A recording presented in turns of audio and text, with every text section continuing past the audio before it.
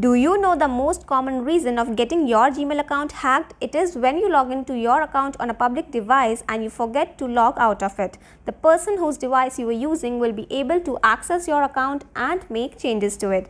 So if you don't want this to happen to you, you should always keep a check on the devices on which your Gmail account is logged in and you can sign out of all the devices that you are not using or are unknown to you.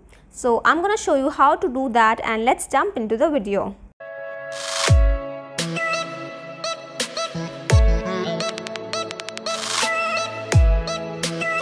Alright, to sign out of your Gmail account on all the other devices, what you have to do is you have to open the Gmail app on your mobile device and if you are doing it on a laptop or computer, you have to just log into your Gmail account on a web browser and then you have to follow the same steps.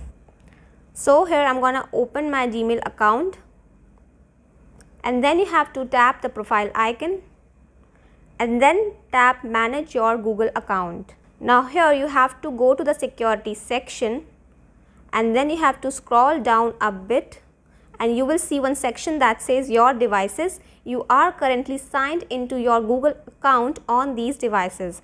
So what you have to do is you have to press manage devices and now here you will see all your devices where you are currently signed in. So if you see any unknown device or any new device that you do not recognize you can simply sign out of it. So currently as you can see I, my Gmail account is currently logged into 4 devices and as you can see the last one says inactive for 91 days. So I can simply sign out of it as it is of no use for me now. So you have to press this these three dots right here and then you have to tap sign out or you can also tap don't recognize this device alright.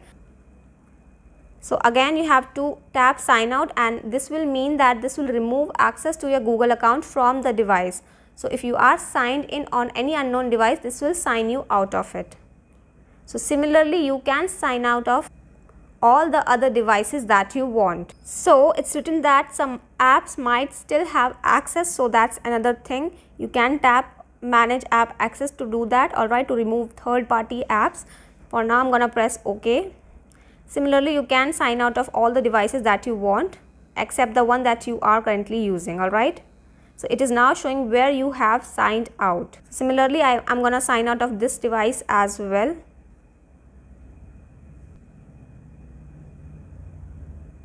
So that's how you can check the devices on which your Gmail account is currently logged in and you can sign out of any suspicious device or any device that is not recognized by you alright that you are not currently using even if it's your friend device or any public device on which you were logged into your Gmail account. So that's how you can secure your Gmail account, the first important step you need to take. So yeah, that was all for this video. If you found the video helpful, please do subscribe to my channel for more such useful content. And if you have any queries or suggestions for my next video, you can mention that in the comment box below. For now, I will take the leave. We'll see you the next time.